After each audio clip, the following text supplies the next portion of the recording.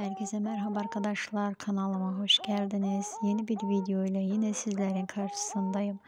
Arkadaşlar Kızılcık Şerbeti'nin güzel oyuncusu Sıla Türkoğlu'ndan yepyeni görüntüler geldi. Ben de bu görüntüleri kanalımda sizler için yayınlıyorum.